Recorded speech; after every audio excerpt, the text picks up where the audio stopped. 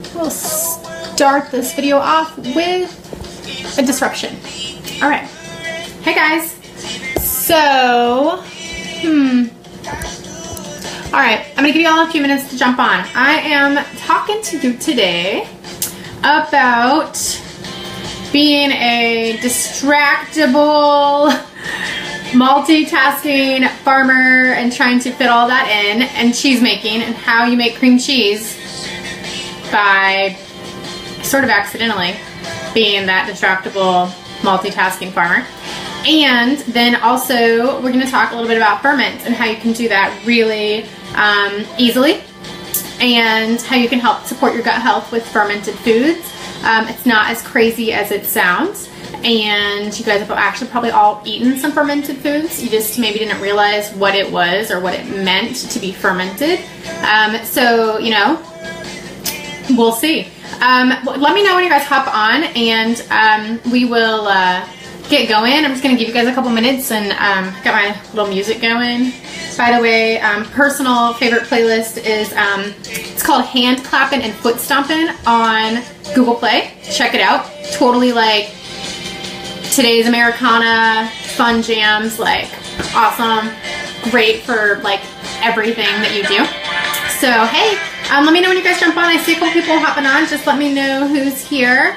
Um, and we'll get going. We're going to talk about cheese making and fermented foods and all kinds of fun hippie farmer April things.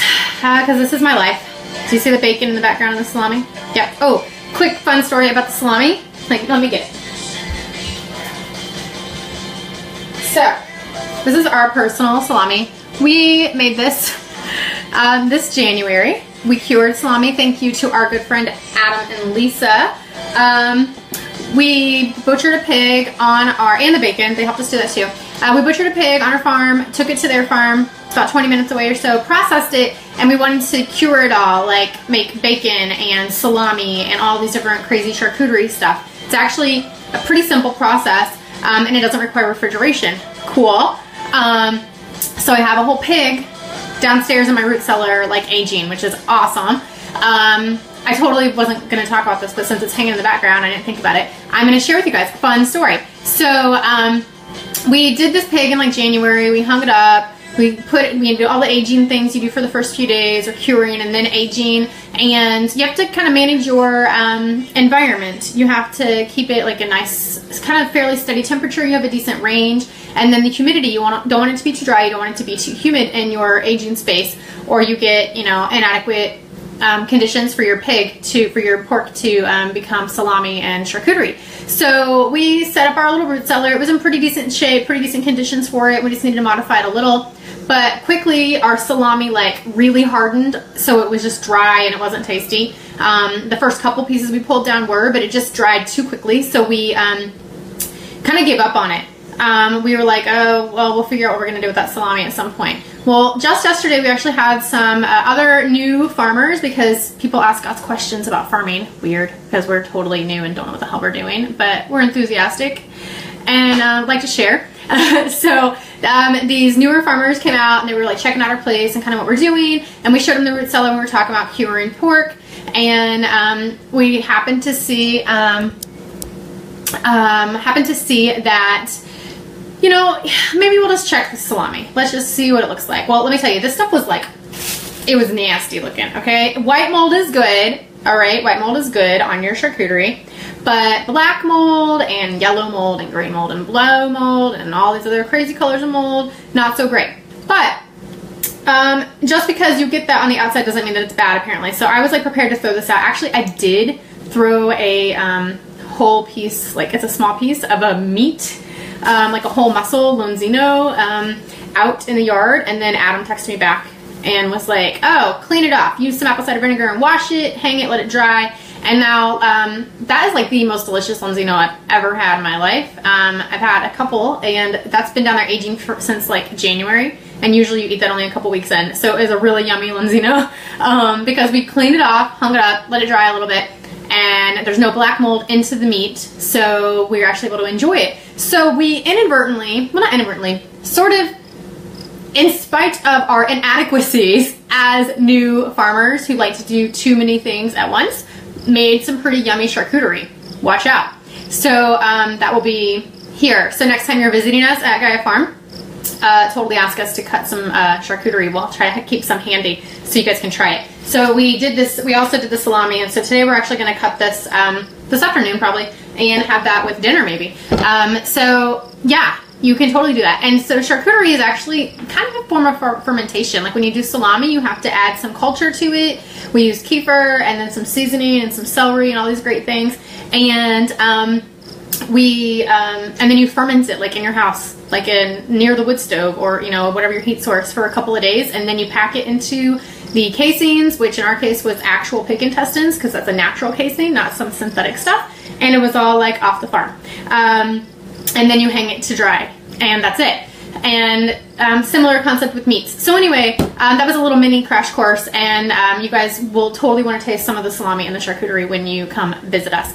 But what I was going to tell you was another example of our slightly distracted, multitasking, ambitious, overly ambitious, um, get ourselves into things too deep farming techniques is cheese making because I just said we need a dairy cow.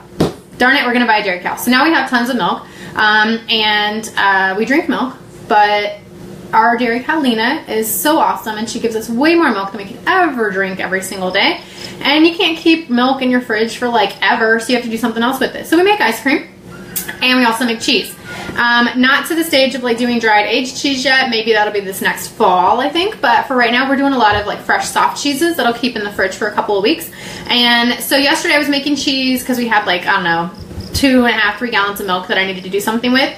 And um, I made mozzarella, a quick one, took a little bit, put it in the fridge, it's done. And then I was like, whenever this happened, happened chance that this Lonzino, this cured whole meat pork muscle that we um, salvaged um, was actually good. My friend Adam suggested that we um, make cream cheese and shave that Lonzino really thin and put it on toast and that it would be amazing like lox and cream cheese, right? So um, I made cream cheese. I was like, thank you. You've just decided what other kind of cheese I'm going to make with the other gallon of milk I have. Hey guys, let me know who's here and like tuned in because I would love to see. Oh, Dave wants salami. uh, yeah, well, come back and visit us, Dave.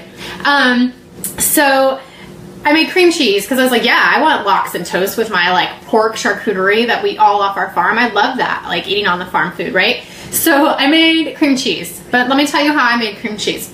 I got the milk out and I put it on the counter and I left it sitting on the counter while I did other things around the farm, tried to pick berries, toured these new farmer friends around, you know, all that stuff, had a beer, and um, I came back and I was like, oh crap, I have to make cream cheese.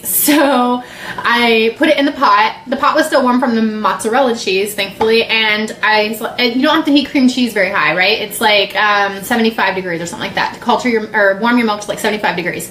And so I was like, let me just check what temperature my milk is at before I start heating it. That's a good practice. As an, as a newbie cheesemaker, it's a new, it's a good practice to know what temperature you're starting at, okay? cue number one. Um, so I checked it and it was like at 75 degrees. So my milk sat on the counter for like three hours um, and was already warm to where I needed it because hello, we live in West Virginia in an old cabin. We do not have central air. Okay. Um, so 75 degrees, my milk inadvertently got itself to the temperature that I needed it. And so I just had to add my culture, which was a little bit of a mesophilic culture, um, and then the rennet, and um, stir it up and then let it sit and that was it. I let it sit for like 14 to 16 hours. You don't mess with it. And then I strained it off and used like a butter muslin or cheesecloth to um, put the cheese, the like cheese curds, it's not really curds for um, cream cheese, but the cheese into to then strain so that more of the um, liquid uh, pours off. So like this, it kind of makes like a ball and I hang it from actually this thing, which is totally a fruit basket for bananas, and it drips into a bowl. So then I did that like till just a little bit ago. And now I have cream cheese uh, pretty passively, which is awesome. It's like my favorite type of farm project, something that I have to do very minimal with and provides me awesome things. Now, um, it's not super sweet, so I actually added just like a tablespoon of honey maybe. What's up, Spence? Um, okay if I turn to you, just turn it down low. Uh, yeah, you can do that, that's fine. For a little bit, okay? Mm -hmm. Okay, so anyway, cream cheese passively by distractible, multitasking, overambitious hippie farmer April. Okay, so there you go. You're welcome. Cream cheese, and now I'm totally excited to do some lox um, and do um, like my pork charcuterie cream cheese on toast. So now, on to the bones of the class crash course today um, is fermentation. Are you all familiar with fermentation? Have you had things that are fermented, maybe like sauerkraut or kimchi or any veggies? Salami, like I said, is fermented. I don't know. So you guys let me know there if you've had any fermented food, okay? Cheese is actually kind of fermented. If you add a culture at a certain temperature, it's a little more compl complicated than some things. But we make a lot of fermented foods here, especially in the summer because you get like a crazy bounty of, um, of produce and you can't freeze all of it. Um, you can't eat it all fresh and I don't want it to go to waste. Yes, my pigs will eat it and that makes bacon, yay. But I would like to have some stuff like, I don't know, maybe I want some eggplant in November. What do I, how do I do that? Because frozen eggplant does not make very good eggplant, okay? So how you do that is you chunk up your eggplant and you put it in a salt brine and you um, put it on your counter sealed with your glass jar lid and you let it sit and it ferments. And then it makes delicious baba ganoush you guys like delicious. No kidding.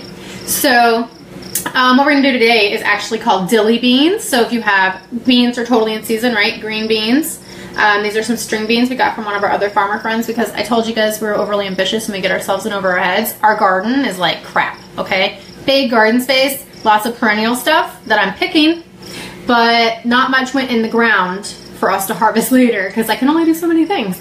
So um, one of our farmer friends though is growing some green beans. So these are like yummy string beans. And so a simple, easy step to ferment things.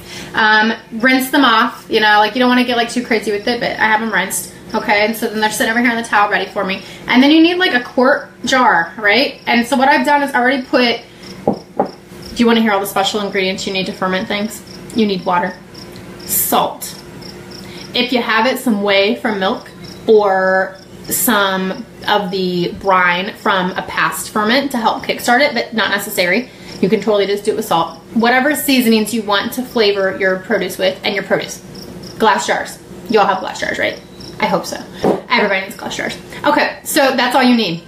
All right, so salt, maybe a Kickstarter with some whey or previous salt brine culture um, from a previous ferment and your seasonings, your produce, and glass jars and lids, okay? So what I've done is just put on my two tablespoons of um, salt, and I like the like Himalayan, like pink, you know, sea salt, like nice, lots of minerals. Um, and I put just a little bit of water in there to kind of help absorb it a little bit. And I added um, some dill weed. Now, we do have fresh dill somewhere on this farm, but I'm pretty sure my husband cut it all back on accident when he was trying to make some headway in the garden, which is a mess, aforementioned, right? So um, I just added some dry dill because I want them to be dilly beans. My little kids love dilly beans. So literally this makes the easiest, um, like the easiest snack, the easiest side to dinner or lunch. Um, or breakfast if you want um, in the summer or the fall or whenever because you just pull them out and it's easy to it's easy like super easy. I love eating um, eating large ferments with their like meals and you don't need a lot so really cool. So, so, a couple tablespoons of salt and a little bit of water to kind of dissolve it and then my um, dill is what I added here um, to um, you know start dissolving the salt a little bit. And then my beans that are rinsed I'm gonna like pack them. I'm gonna hold this up so I can show you guys. I'm just gonna like pack them in here the best I can it's kind of imperfect they're tall I just realized I forgot something else that I need not necessary, but a big bonus. Um, so I'll get it in a second show you guys. So pack these down in here as tight as you can get them. You don't want a lot of room. I dropped one on the floor. Sorry. Hey, Crystal. Hey, guys. So have you all tried fermented foods before while I do this? I want to hear, like, what kind of things have you fermented? Um, I'm just going to pack the green beans down here in my mason jar. This is, like, the simplest thing ever. My five-year-old can make ferments. He does, actually. So pretty sure you can do it. Go to your farmer's market and get some things. What kind of fermented foods have you guys tried? Tell me, I want to hear. Or have you never? Are you scared? I hope you're not scared because it's delicious and really good for you. Y'all know when I started fermenting food was when we lived in Okinawa, Japan, and I had nobody to show me how to do it. I didn't speak Japanese, so I wasn't like I could go ask a bunch of like the Japanese people who make some delicious fermented food, like fresh tofu, by the way.